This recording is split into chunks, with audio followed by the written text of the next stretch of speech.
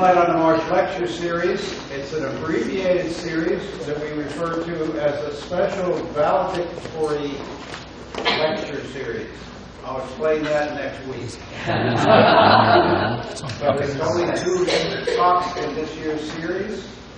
Uh, Today with Bernie Master, and next week uh, I will be giving the final lecture.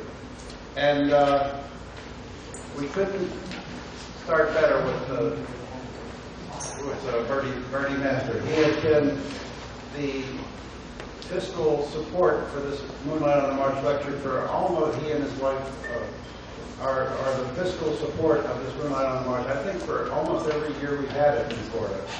And so, God bless you guys for, for doing it.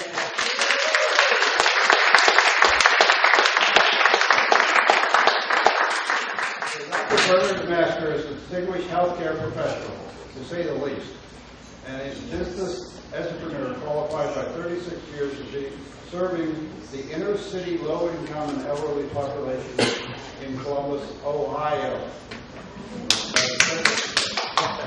Credited with developing a high, high effective healthcare system throughout the state of Ohio and other regions as well. Uh, It was publicly traded on NASDAQ, and uh, he served over 52,000 patients in his uh, legacy as a healthcare professional. Um, So in addition to that unbelievable uh, accomplishments in the health field, he uh, is an internationally recognized conservationist. He has a life list that includes over three quarters of the world's bird species, in excess of 8,000 birds.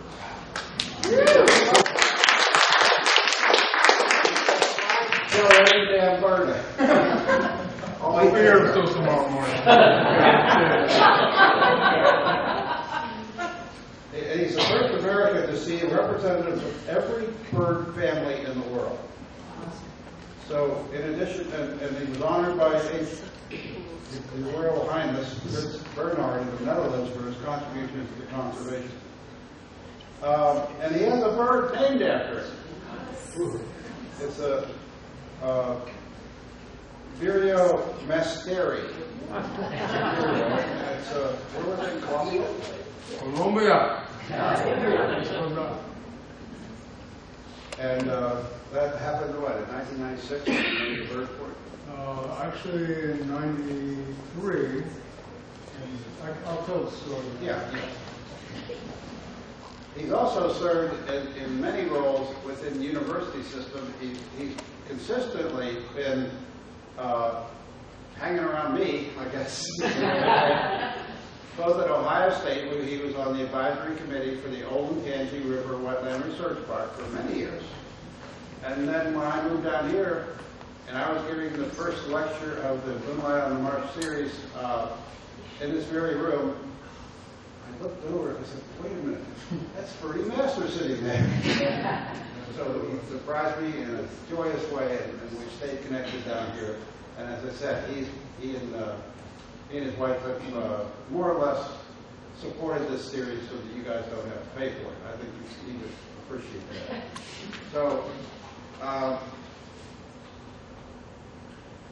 I'll give you a couple more points, then I'll turn it over to him. Uh, he's a founding member of the Ohio the Ohio Nature Conservancy for 11 years, founding member of the Ohio Ornith- Ornithological Ornithological, Ornithological uh, Society and a community board member of COSI, which is uh, our uh, museum for kids. Uh, Center of Science and Industry Yeah. in the central Ohio. And then he served on the Green Fund Committee of the Columbus Foundation for 16 years. He has also sponsored the oldest professional tennis tour- tournament in Ohio. Uh, It's still going on? Still going on, Now 45 40 years. thir- 40, third year now? 45 years without, without interruption. So what a, what a diverse guy this is. And he's a Vietnam veteran and uh, has three children and six grandchildren. What I wanted to do was wave his book that he did it. Did you? Yeah. Oh, I, I know he had it. Uh, It's called No Finish Line, and it was in 2015. 2015. And it's a s- story of transposing his life of being a birder and his uh, role in the Vietnam War in the medical arm of the, of the uh, U.S. Army. And it's just brilliant the way pieces those two ideas totally disparate into a very readable book. I recommend it highly, and I think he's going to recommend it to you as well. So, Without any further delay, please allow me to introduce Bernard Master, Dr. Bernard Master. And Nobody's put up his title, so I can't tell him. Uh, Thank you, Bill.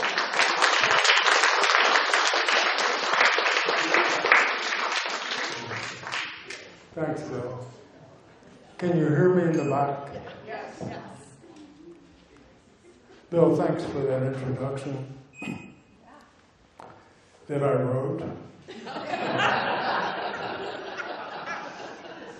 I've been associated with Bill Mitsch 25 years, about 10 here, and the rest at Ohio State in Columbus.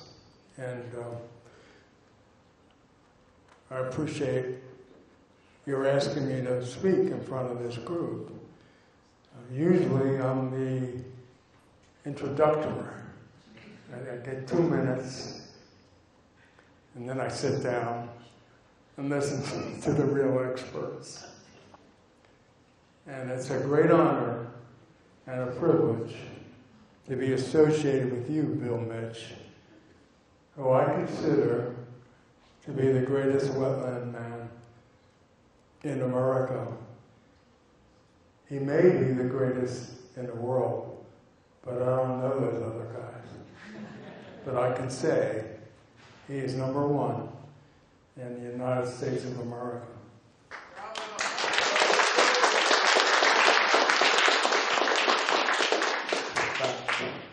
Jack. Thank you all for coming tonight, giving up your St. Patty's Day party to hear me speak about birds.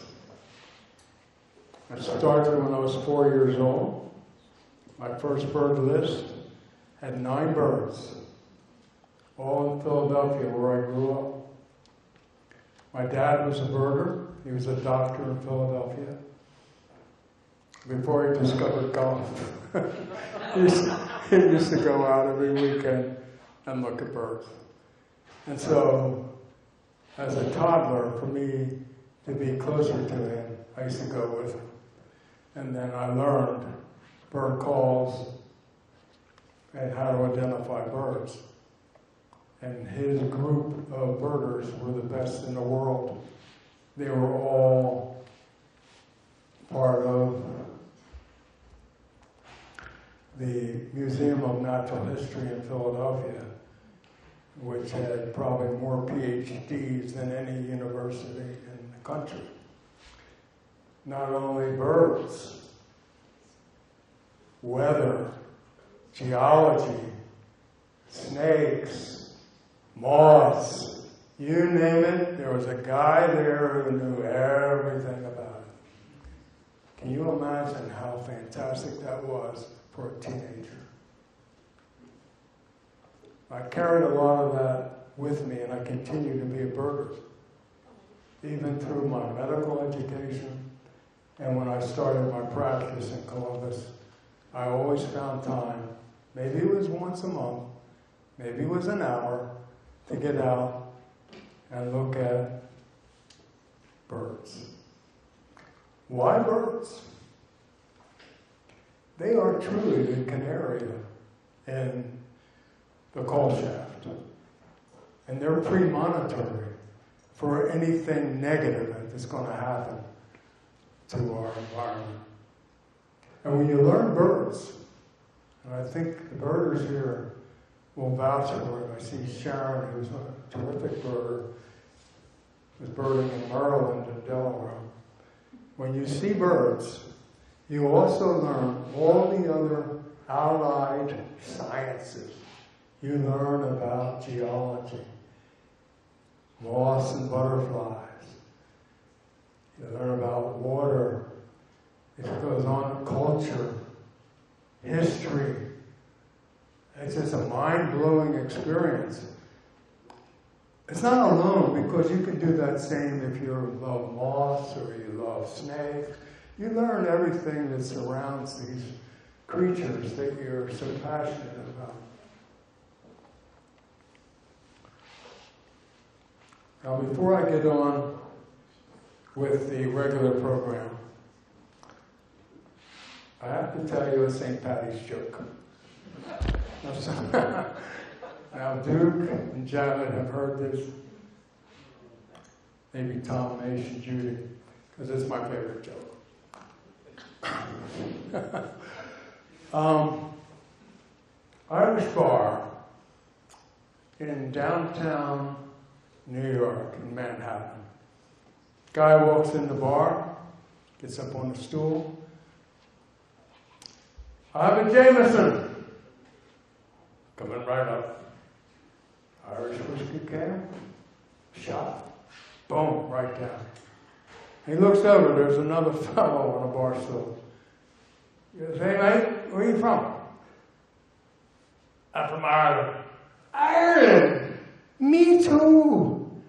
Bartender, two Jamesons. Whiskey comes, pop, pop them down. You know, down it goes. What part of Ireland? Dublin. Dublin! Me too! Two Jamesons. Bartender comes, two shots. Boom! Pop them right down. What part of Dublin? What parish? St. Patrick's. Me too. Bartender. Duke's laughing. He knows what's coming. Two Jamesons. Whiskey comes, schlant, boom, pop them right down. What school did you go to? What primary school? St. Mary's. No, me too. Barkeep, two Jamesons. Boom, down. Another guy walks in the bar. Third guy sits on a stool. Says, hey, Patty, how are things going? I said, ah, same old, same old. The McGillicuddy twins are here and they're, they're drunk out of their minds.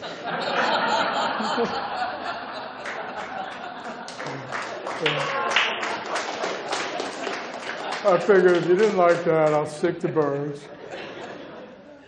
and I think we'll, we'll move on. Now, uh,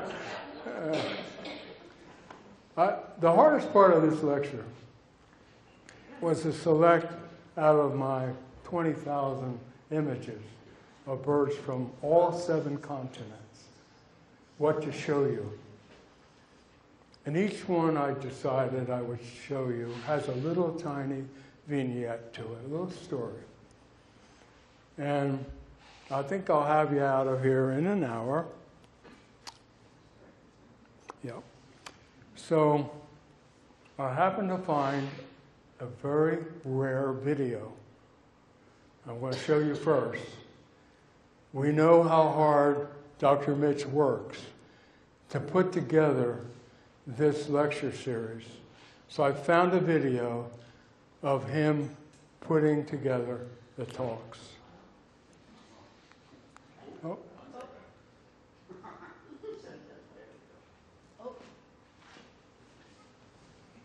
well,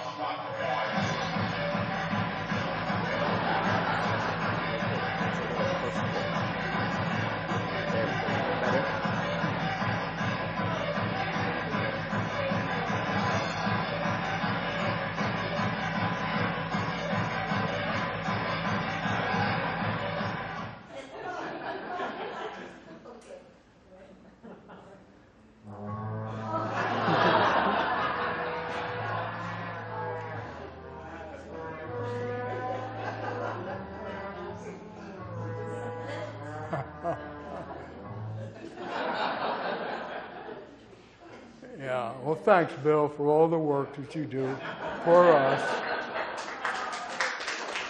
That's, uh, Matt, that's a little fuzzy. Is there any way we can sharpen that, or is that just it? Um, I started, by 1989, I had seen every regularly occurring bird in the United States. Everyone. And we had, I had a downturn in my business. I had 10 medical centers, about 40 docs who were working for me. And things were going sour. I couldn't figure out what to do. So uh, Sue and I started walking, and I was bouncing ideas off of her. And after a while, answers were coming to me, and they were working. And so, as we were walking, then I'm looking at birds. And I bought her a pair of binoculars, and she's looking at birds. And we decided to leave the U.S. for a bird trip. And our first trip was Costa Rica. And it was fabulous. 1989 was our first trip. And I decided this is my hobby forever. I can't wait to see everything else. When you see the tanagers, and when you see some of the very exotic species, not in the U.S., they're south of the border. I said, This is what I want to do. I'm still working. So I developed a plan. You need a plan if you're a world birder. Otherwise, you're seeing the same birds over and over and over again, which is fine, they're all good. But I wanted to see new birds. So I developed a scheme, a plan. Unfortunately, you can't see this the way I want you to see it, but I found out what countries have the most endemics. An endemic is a bird that's only in that country or in that region. And once you go to the endemics, everything else fills in. Hmm. So I tried that. Now, what are the top countries? Well, they are Australia and New Guinea. They have more species than any other country, including any country in South America. In South America, it's Colombia that has about 3,000 species. But Australia and New Guinea have more. So I started going here. I work my way down. Uh, I'm somewhere over here now. I don't know. But the U.S., uh, on a good day, on a good year, on a good 10 years, has no more than 900 species. So, and these other places have thousands of species. Now, why do they have thousands of species? Endemicity is created by geography. So if you have mountains and valleys and rivers and deserts, you have multiple biomes. You're going to create birds. That geog- ge- geology and geography will create new species because they can't interbreed. If they're in a valley in Peru, it cannot interbreed with the, the bird that's on top of the Andes. They can't fly like that. So they just grow and develop their own song, their own feather tracks, and they never interbreed with a neighbor.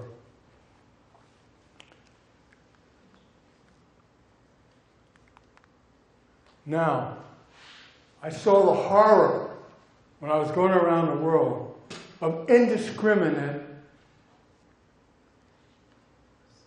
desecrating our Mother Earth.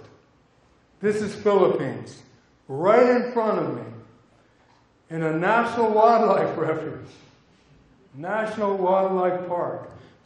They're cutting, let me go back. They're cutting down trees. I could hear the saws. This is a protected land. Philippines only have 2% of the forest left. Why? They sell their timber. And who are the pirates? Malaysia. They're all over this world. buying timber from everybody. Because they have no trees left of any consequence, you get landslides. And when you have landslides, you can't go forward. That's the, that's the end of your day. You're shot if you're a world burger.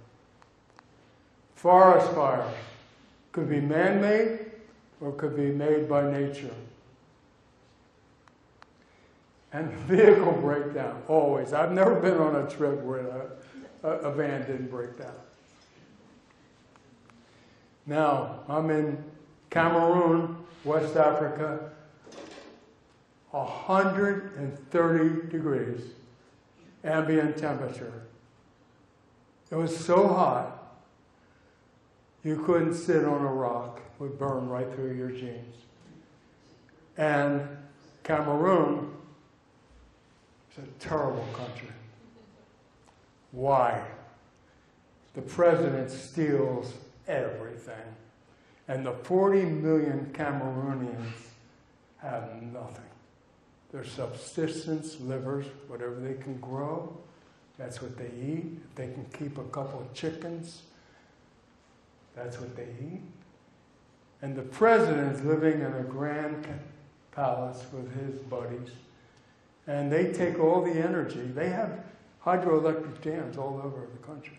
They take the energy and they sell it to all the surrounding nations, Nigeria, Central African Republic, etc., etc., Congo. These are three Rüppell vultures in 130 degree heat, trying to stay cool. This was here at Bird Rookery Swamp, off of Immokalee. And this is a cottonmouth. This is a big cottonmouth, big guy. And it had rained heavily just before this, and it forced him out on the path. And so I used the car as a blind, and I got real close, and I took this photo. Its, its genus is Agkistrodon, which means recurved teeth, which it has, fish eating, which it does. What happens when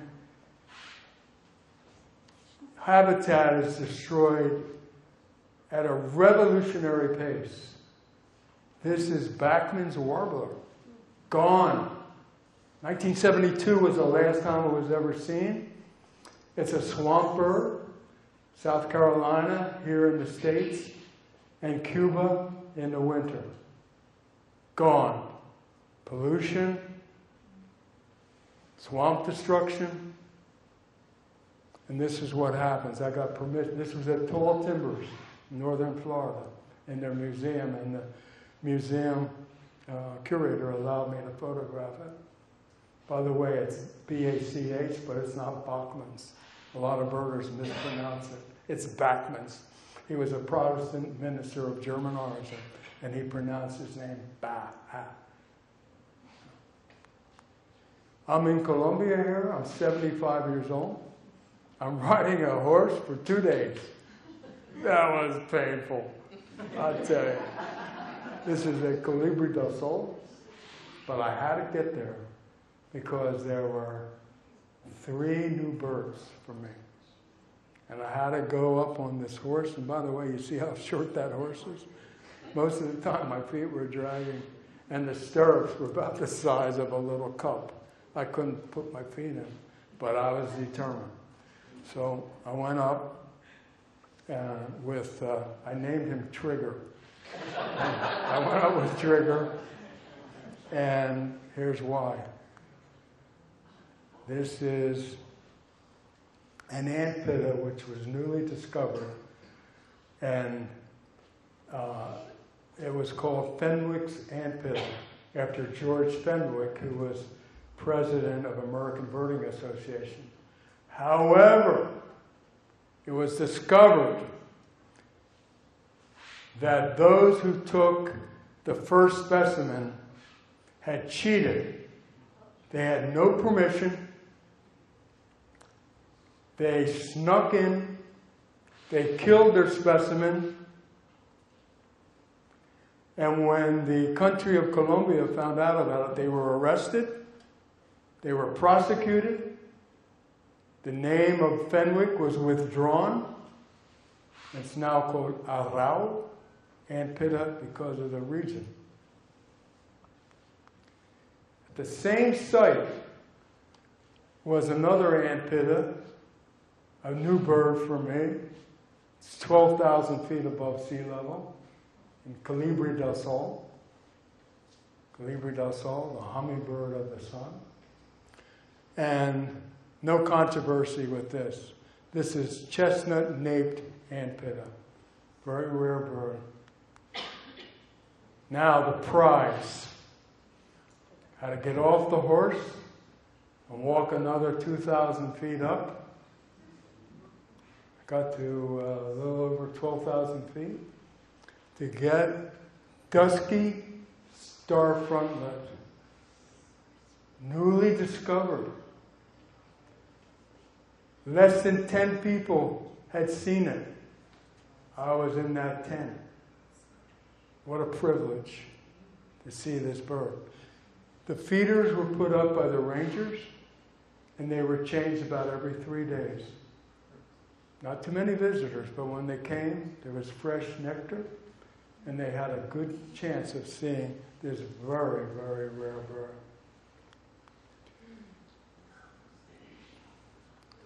This is one of my best stories. I was in Ethiopia. I was on my way home. I had a whole day to kill before the airport. I said, I'll go to the National Museum. I went to the National Museum. And a guide came over to me, saw I was in Ethiopia. He says, May I guide you through the museum? Well, great, yes, thank you. So he took me downstairs. We, we did the regular routine over here, ah, okay, that's all good. And he took me downstairs, put the lights on, took his keys out, opened the door, went in this room, put the lights on in the room. He goes, he says, Sir, you're looking at Lucy. Lucy. This is the first hominin discovered by one of the Leakey guys. 1974. Leakey trained all the monkey women. Give me a name, Sue. Jane Goodall. Jane Goodall. Tra- tra- Leakey trained Jane Goodall, the chimp. He trained the uh, uh, gorilla person. I forget their names. I apologize. Fossey. Fossey. Yeah, that's right. And he trained the orangutan person. It's very interesting. They're all women, and except Johanson, who found Lucy. And before they went to Africa, you ready for this? They had to get their appendixes removed, so they wouldn't be, they wouldn't die if they had appendicitis. So here's Lucy. How old is Lucy? Somewhere between eight, uh, uh, 3.9 and 2.9. This is the actual skeleton. This is not a wax uh, copy. This is Lucy. She stands about, when she stands up, she's um, about a little over three feet. But what's the importance of Lucy? And I have, and she didn't. Her line died out. It didn't become on and on and on Homo sapiens. It didn't become us. It died out. We have other uh, Uh, other species that developed in the Homo, Homo sapiens. The importance of Lucy. This was the first evidence that something they call her a hominin could walk upright, bipedal. Now, what's the importance of bipedalism? Bipedalism allows you to run. And when you run, you can run down prey. And when you can run down big prey, and they, even today in Africa, they do, you can run down antelopes, you have more protein. And when you have more protein, your brain expands. That's the importance of Lucy and her forerunners. Now, we're in Ghana. Susan and I are in Ghana. This is white neck Picathartes. It's a rock jumper, very primitive. Look at it. Looks a lot like it's dinosaurian. There's one other in this genus, and I saw that one years before in Cameroon. Picathartes. That was about what, 10, 15 feet in front of us. They're cave nesters. So if you know the cave, you hang out quietly, it'll come in. Ah, Blakiston's fish owl. Ladies and gentlemen, you're looking at the largest owl in the world. It's bigger than the great horned owl that we have. It's bigger than Eurasian owl, uh, Eurasian owl. It uh, stands about over two feet, and it weighs a little, more, a little less than five pounds. Its wingspread is six feet, and it eats mainly fish. And we saw this in a Ryokan, which is an authentic Japanese hotel. We were wearing Japanese robes. And, and my grandson, my 16 year old grandson, was with us. And he was on the lookout because he heard it was coming in to a pond, a little pond with minnows. And he ran, Grandpa, Grandpa, Grandpa, it's here, it's here. So we ran out, and I had my camera, and through a big glass plate window, I took this photo. This is Blakiston's fish owl. I'm going to go back because I got to tell you about Blakiston. See? Yeah. You know the story about Ernest Shackleton and endurance, how he went down to Antarctica in the boat, got stuck in the ice and crushed. They just found endurance, by the way. I guess a lot of you know that. And then he took 26 of his boatmates to safety over between seven and 800 miles in an open boat. Those kind of guys don't exist anymore. They just don't. They're tough. They never give up. They're smart. Blakiston was in that, that genre. Apropos to today, he was in the English artillery. They defeated the Russians in 1836 in the Crimea. I think we all know Tchaikovsky's stirring overture about the Crimean War. There's a big, there's a fight over Crimea now. He then went to Canada and joined the Palliser expedition to look for a Northwest Passage from Canada. Where's my Canadian friends? Yeah. And he had a fight with Palliser. So he left and he went on his own and found the passage on his own. Then he went to Asia.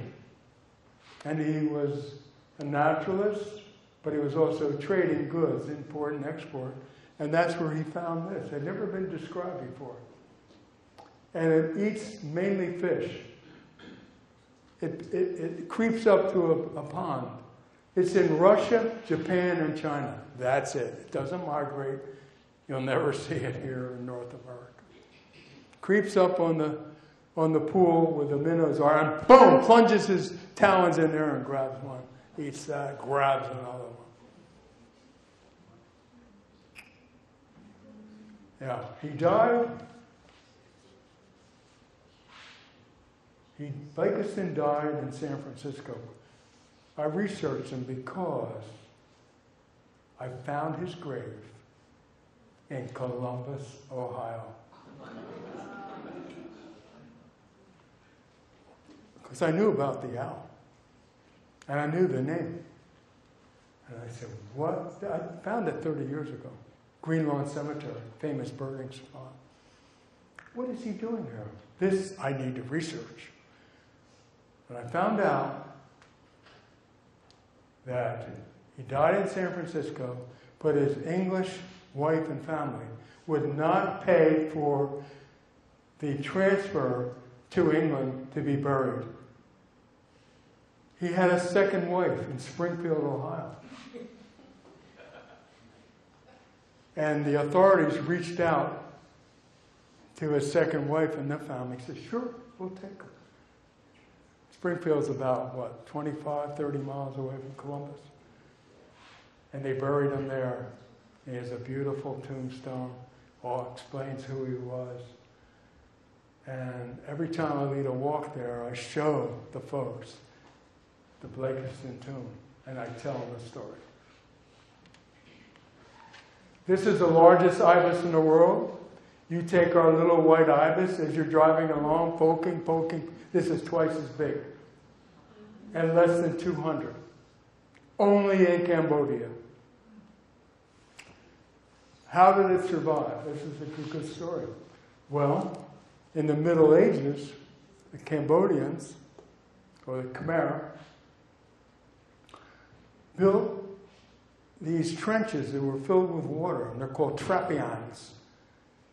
And they had fish, and they the locals would take the fish, they'd go fishing, and they also so would the ibises. That's they fish. Well, the trapeangs are still there after 500 years. But the people, the locals, were killing the ibis. You got to remember, a lot of countries are protein poor. And what we consider to be outrageous behavior is survival for local people who need the protein. And so, one of my friends led a group there, and she counted 10 ibises. That's all. 10 giants. And she found out that they were killing them to eat. And so she said, I'm going to bring a group back next year, and every number of ibises above the 10, I will pay you X number of dollars, in US dollars. Oh, would that work? Damn right it worked. She came back the second year, there were 12 or 13. We came the fifth year, and there were about 20. But we slept in a, uh, a very rough uh, shack that the locals had built to bring tourists in.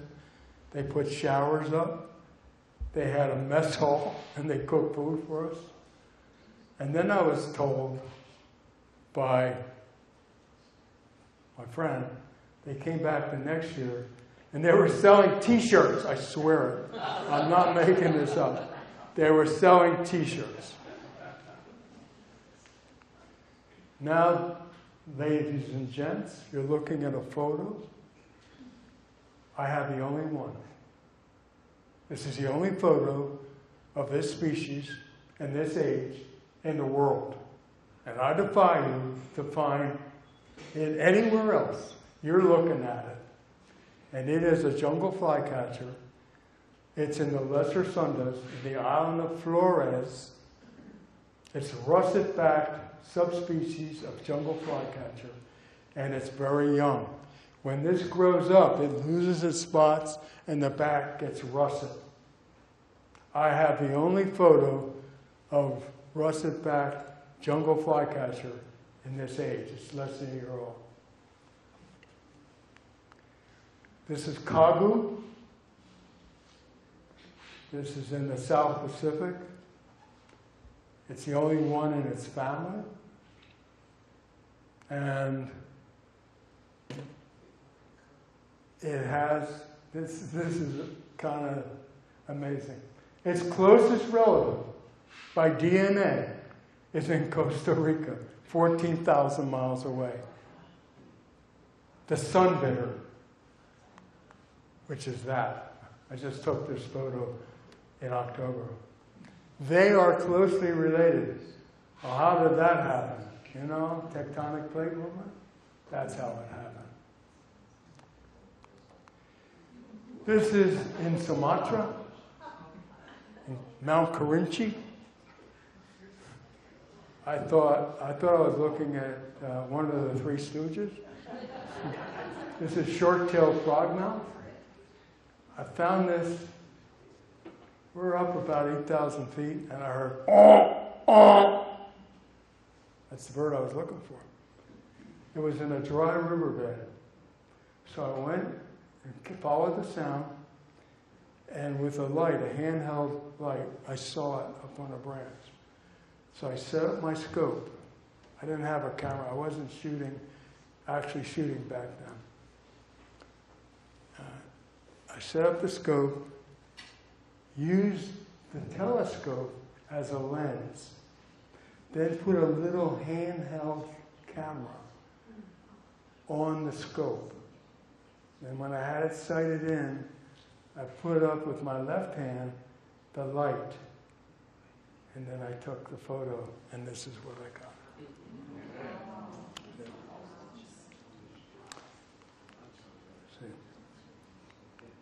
Ah, Susan found this. This, this is South Moluccan ant on the island of Buru in West Papua. That's part of Indonesia. Remember, Indonesia is an island country, thousands of islands. This is Buru. Sue found this. This is about six inches off the ground. It's only on two islands. Very rare bird and a beautiful bird. This is one of the BOPs, Birds of Paradise. It's Wilson's on the island, the same trip, island of Waigeo, one of the next islands over, Western Papua. He's attracting, this is the male, he's doing a dance, and he's trying to attract a female. This is the only bird on my list of 8,325 that I've never seen. But I'll tell you why I'm counting it. This is in New Zealand. And Sue and I looked all morning in the river for it. Fiordland crested penguin. Never could find it. Ah, we came, got out of the boat, came into the forest on a boardwalk. And I saw this stuff.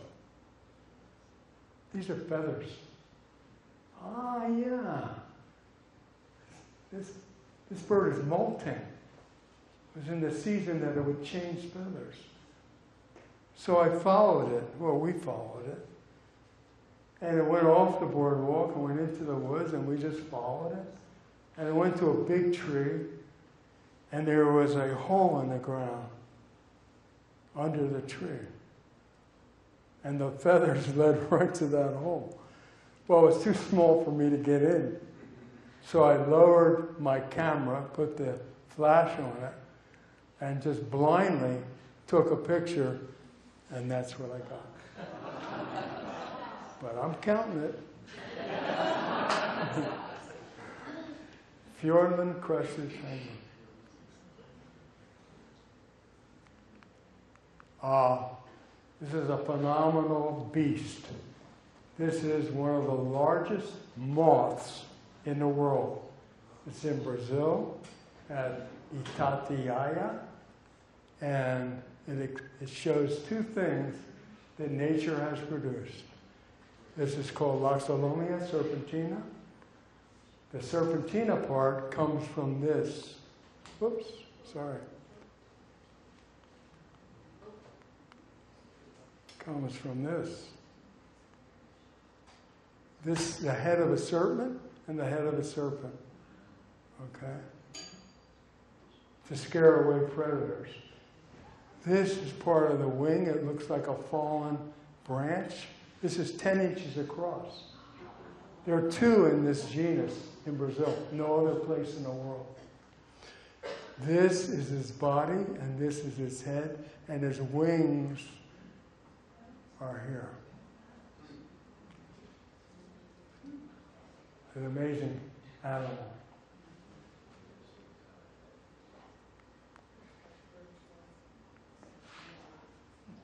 If you like dogs, same family. It's in the Canid, C-A-N-I-D family. This is a wolf. It's called a maned, M-A-N-E-D, wolf, because of the hair that starts on the back of his neck and goes all the way down. This is Rosie. Less than 250 left in the world, critically endangered. The rangers knew her. They knew she was four years old. They knew she had had a litter. They knew there were 250 left in the world, Brazil and Argentina. Look at the look. Oh darn it! Look at look at the length of the legs. They live in high grass. That's why the legs are so tall, so they can maneuver very quickly.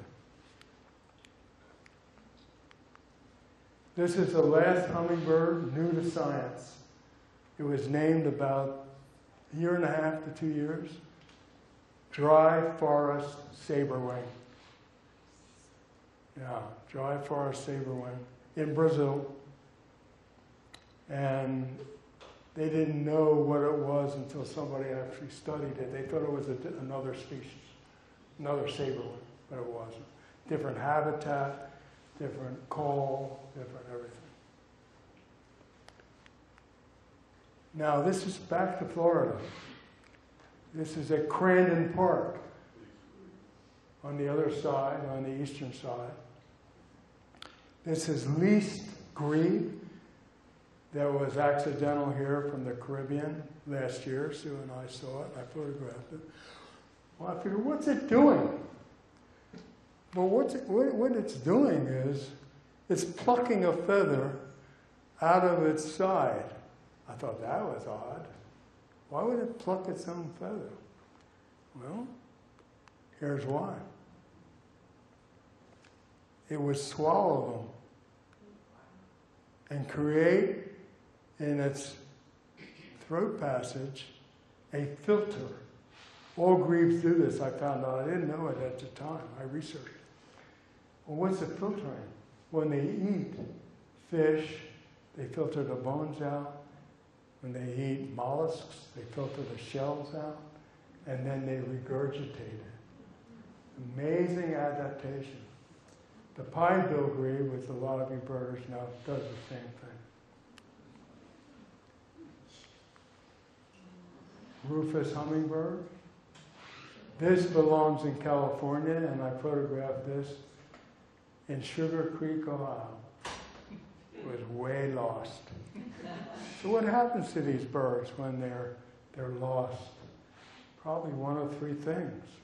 They either perish because of the weather or a predator, or they find their way back and then come again the next year. I've seen that happen. Or they continue to go east and wind up in Cape May, New Jersey.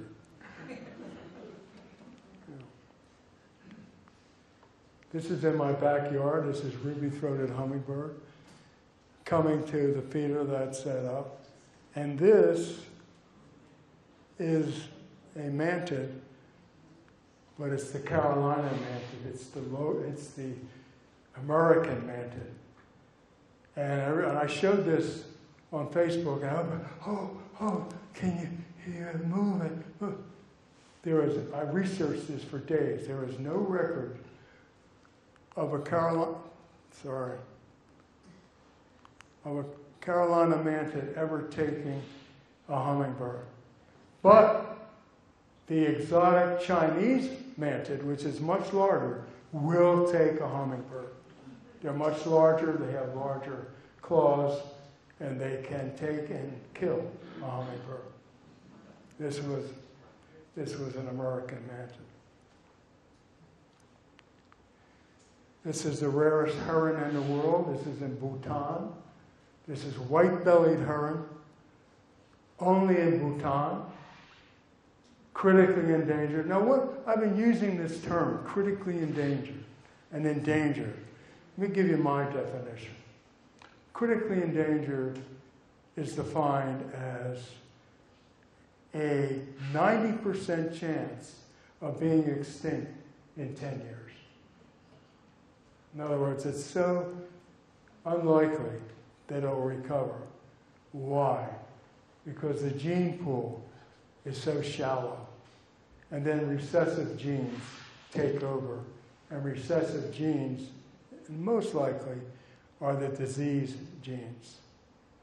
Also, they can't find a partner. So, this, to me, has a 90% chance of being extinct in 10 years. Endangered definition, or my definition, is a 50% chance of being extinct in 50 years. So that we can save those species by proper husbandry. Now, I parked my car. I parked my car in Brazil and forgot where I parked it. I came back the next day and everything grows so great there. But that's a joke. Ah, we all have seen, a lot of us have seen this in Florida. It's a western bird. It's Texas, Oklahoma, but a lot of them come here. Scissor-tailed flycatcher. So I'm in uh, Colombia, northern Colombia, and I'm with my birding buddy, Forrest, Forrest Rowland. Um, and we see a bird, and we're walking by. Ah, scissor-tailed, yeah, yeah, nice bird. I got home, he got home. Three weeks later, he called me and said, Bernie, did you photograph that, that flycatcher? I said, no. Why? He said, that's the first record for South America. What's the moral of that story? Know your bird list. If I had known they had never been seen in Colombia, I would have been all over that bird. And uh, obviously, first record in Colombia. This is one of the rarest ducks in the world, Brazilian merganser. Less than 200 left. Okay, this is in Brazil. It's only, they only are found on very extreme rushing rivers. And there were five that day. I caught three in a little group. And again, it's very, very endangered. This bird is a flycatcher in Brazil. Nobody knows what it is. It has not been studied, it has not been named. We know it's in the genus Ptolemaios, and that's all we know. This bird is in Tocantins, Brazil. Nobody knows what it is. They know the genus because of the feather tracks, but they know more than that. The DNA has not been studied. The vocalizations have not been studied, which are two of the things you study besides feather track. What's it look like? You study the DNA and you study the vocalizations to make a definite um, identification. So we don't know. I keep checking. I keep checking. Do they know? Do they know nothing? There's no money for this kind of stuff. No, you know, we're not. We have so many other problems that need attention, especially today. That there's no money left to study a, a rare bird in in Argentina, or this was Brazil. Yeah. Okay, same area. Blue eyed ground dove. new to science, found by an engineer who was mapping out a grassland area so that they would build, I'm guessing, a park, a building, a gas station, God knows what. 20, that's all. 20 left. It's now a reserve, and maybe it'll come back. It, it has a genuine blue eye, which I really didn't capture well here. This is Pfrimer's parakeet, another endangered parrot. And this is where it lives. It's a cave dweller. It's very rare for parrots. Most parrots don't live in, they live in holes in trees. This bird lives in caves. And this is Kaempfer's uh, woodpecker, extremely rare, Brazil. And it's a beautiful bird, but hardly any left. This is white rump sandpiper, and I've never seen this in Florida. The cool thing about this sandpiper, its migrational trip down to Antarctica, this is in Antarctica, and back to the Arctic, 18,400 miles for this little guy. How does he do it? And I've never seen it in Florida. I'm, I'm here at the wrong time. You can see this bird in uh, late April and early May, if you're lucky. It's rare to uncommon. This is a guy, if I had a hat, I'd take it off to him. This is Alexander Skutch, an ornithologist. He was 88 years old at this picture. He has written over a hundred, you gotta listen to this, because there's a story here. He has written over a hundred ornithological books. He was trained at Johns Hopkins in Maryland. Over a hundred books, papers, uh, and articles related to birds. He lives off the grid. He wrote all these articles on an electric typewriter powered by a car battery. he had nothing. And yet he contributed so much to ornithology. And when I think about him, and when I see our kids, our grandchildren, who have everything, and what are they accomplishing? Unless they have powerful parents and grandparents, they won't accomplish much. Now, the next guy, I'm not going to show you his photo yet is unknown to almost every 330 million Americans. Yet, he changed the course of American history. And Duke, you're going to be glad to see, you may know about him. You may know. We have um, a, a wonderful patriot in our audience who is a Vietnam veteran, and uh, he was commandant of the Pentagon during his service, at the end of his service. So he may know. But here is, where's your hand, dude? There it is.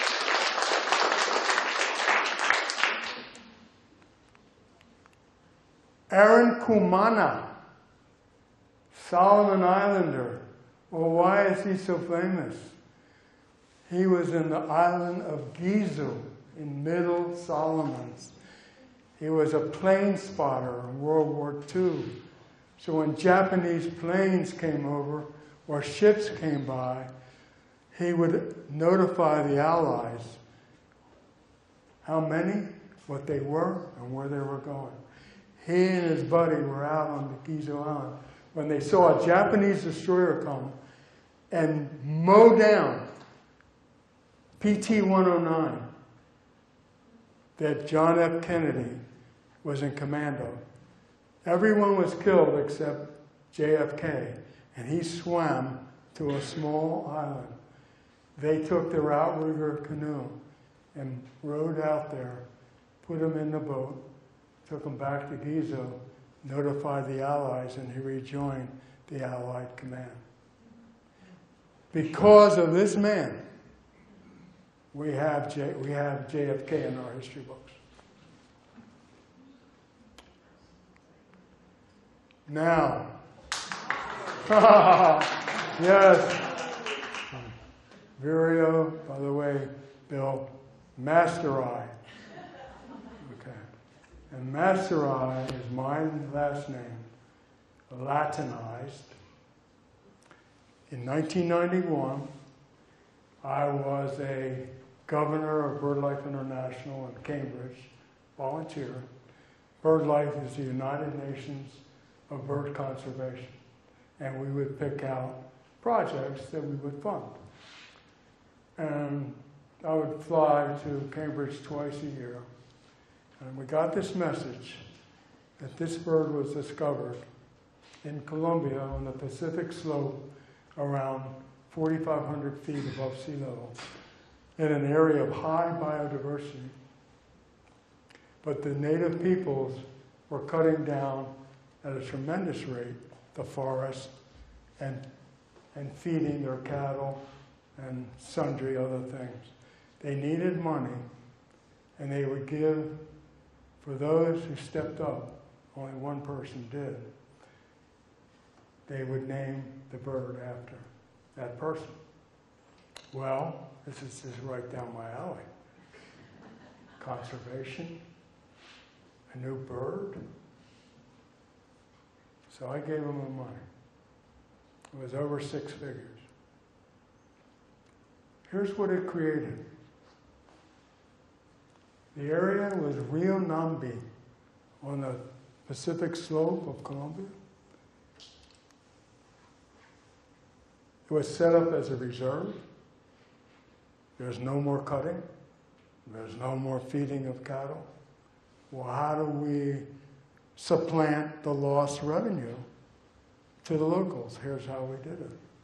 We created a reserve and invited bird touring groups to come in, pay the locals. They kept all the money. Actually, it was a lot more than they were making doing what they were doing. It became the prototype for the state of Colombia for 19 more. There are 20 because of this, Rio Nambi. There are 20 now in the country of Colombia because of this. Because this works. You give local people a stake in protection, and they'll, they'll respond.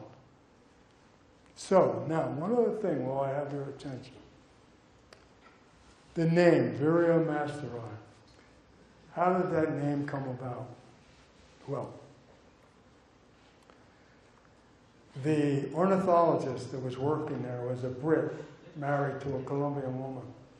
And he was studying the biodiversity in this area. And one morning he woke up, and in his mist nets, these are finely netted uh, traps, don't harm the bird. But then you take that bird out in the morning, and you measure it, wing cord from here to here. You blow the feathers off the head to see the age of the bird. You weigh it, make all the measurements, and you record that. He looked at the bird, he said, I've never seen this before. His name is Paul Salaman. He's still alive. He went, he fell asleep. When he woke up, the bird had been, the skin, the bird had been devoured by ants. He had nothing. He had done no measurements, he hadn't prepared the skin. It's gone. Of course, I put myself in his place, and you know, I'm still kicking myself. You know. Three years later, Gary Stiles, a compatriot, another ornithologist, 300 miles away, found a similar bird. And he knew by, by the description from his friend that it was the same bird. So he contacted him. He says, I've got your bird. But Gary didn't fall asleep. He measured it. He took the innards out. He prepared that skin.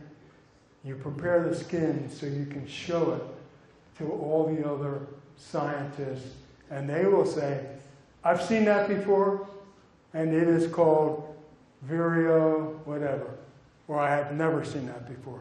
Not one of his ornithological compatriots had ever seen it. Okay, so where's uh, the Vireo?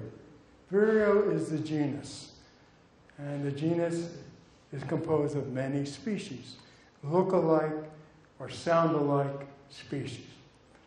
Well, it looked like a vireo. The feather tracks look like a vireo. And they hadn't heard it yet. Later we heard it. And so he, um, he said, it is new, and I'm going to publish it. And he did in the European Ornithological Journal, the Ibis. Why do you publish? You give it a shot to every birder, scientist, ornithologist in the world to say, oh, I've seen that. I've got it in my skin here in Vienna. You know, 200 years ago, so and so collected it. Nobody popped up. And so, the name Vireo masteri stuck. It may be removed 100 years from now if somebody in Berlin finds the skin in his lab with the date and a different name. But so far, nobody. So, masteri remains in perpetuity. Now, here's something a lot of people don't know, including scientists. Where's Matt? Matt, I was telling you this the other day. The second word, masteri, is not the species. The species is vireo masteri. It's two words. The second word is the epithet, or the specific epithet. I've actually read books where scientists didn't know that. So, Homo sapiens, that's our species. Homo is our genus, sapiens is our epithet. Combined is the species. Now we're back in Naples. This is a place we stayed in a couple years ago. I will now take questions.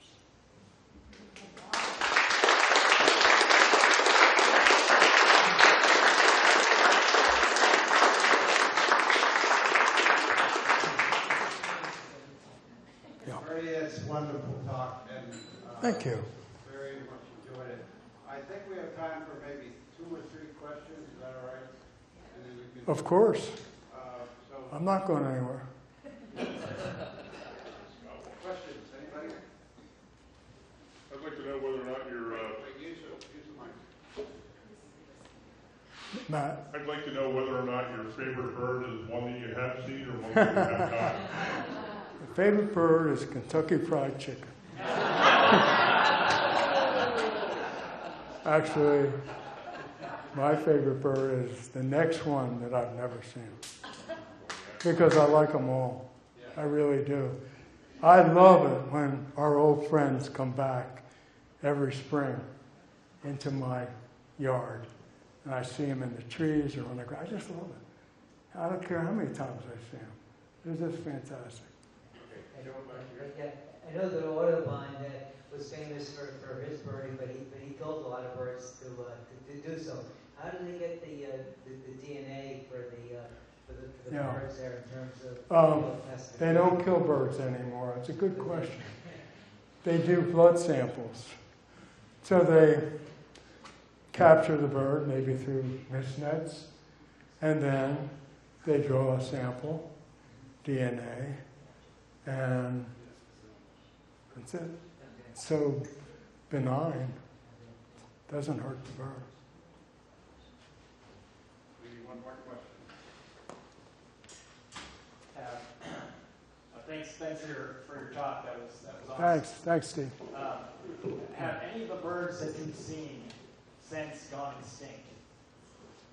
Yes, they have. I've seen, I can count three birds that I've seen over my X number of years that are no longer with us.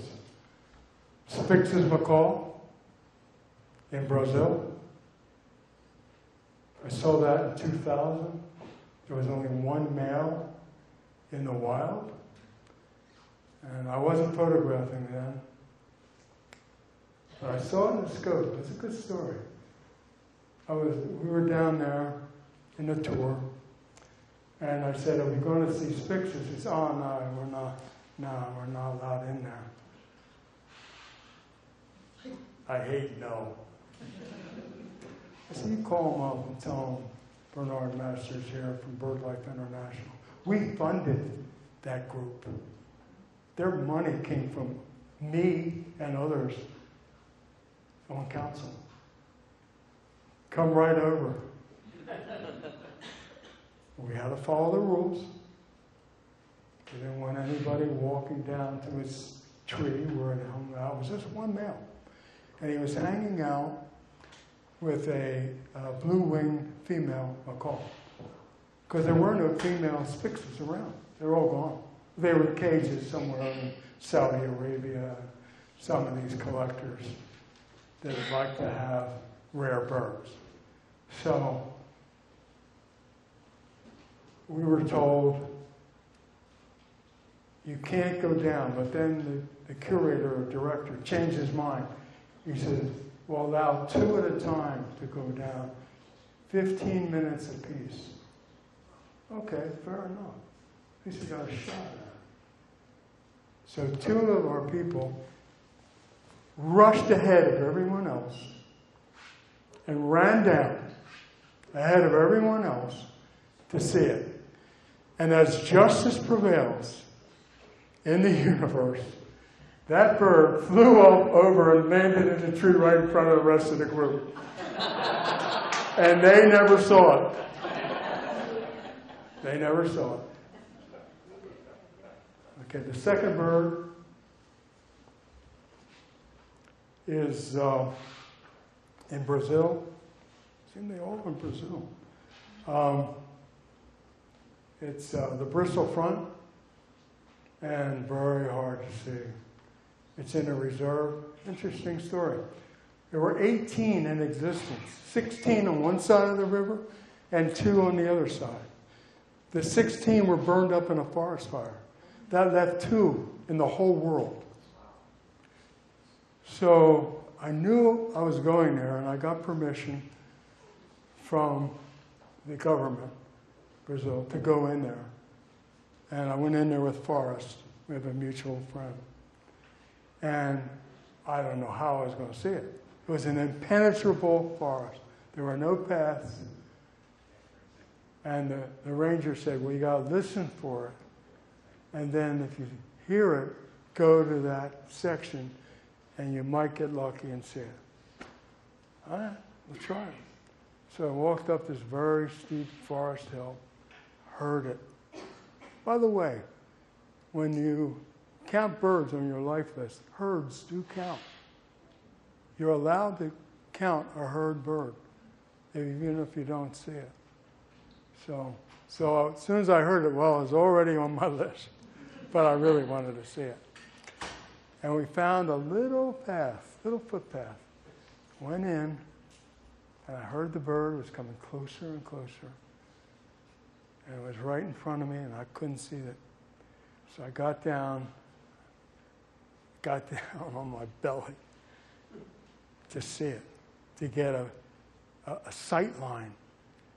And I saw it come head, body, tail. Check. You're done. I got it. But then I wanted the photo. I never could get a clear photo because of the, all the, uh, the bushes and trees around it. And the third would be um, microphone. I'm losing it? Oh, okay. Third bird, um, geez, Spixes. Uh, there's one more that, uh, can't think of it right now. I'll probably tonight, like, or two in the morning. I need your phone number, so. I, yeah, I got it. Um, so, uh, then you have three and I'll never see again. Yeah, Okay, last question right here. Mo. what's the hurry? We're having- having a great time here. I'd just like to extend our thanks to you for having such an extraordinary passion for this and for your willingness to come down here and share it with us. This was an extraordinary lecture. Oh, I'm Thank so you happy. much. I'm so happy. Thank you, thank you, thank you, your kind words. I was ready to give your money back if you didn't like it. Okay, Well, thank you very much, Bertie. Appreciate it very much. Uh, you're welcome. It's absolutely incredible to have somebody with your talent and to Thank you. talk to us. Uh, And I also want to once more thank you and your wife both for providing the funds that allow us to have this. I think it was almost every, every year of- over the last 10 years. Yeah, every year. I'd like to take another minute, Bill. Okay, you want another minute? I need another minute. And that is, everybody here had some history lessons. Back in the day, the patronage system, where someone who had some money could support an artist, a scientist, someone who is contributing to the good of the public. And Bill is that person, and I was that patron.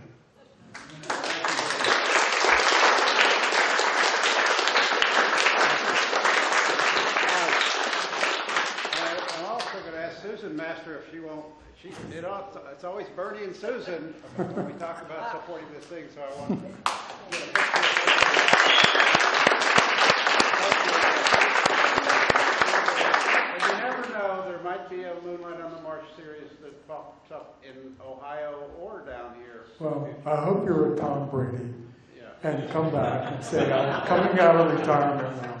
Okay, Let's sta- and hang around with the two of you, get a picture, please. Okay. Tom, yeah, Tom Brady. Yeah. No, I don't know. if I- Whatever. So, thank you all for coming, and uh, we have one more lecture by some guy I heard of next week. Next week.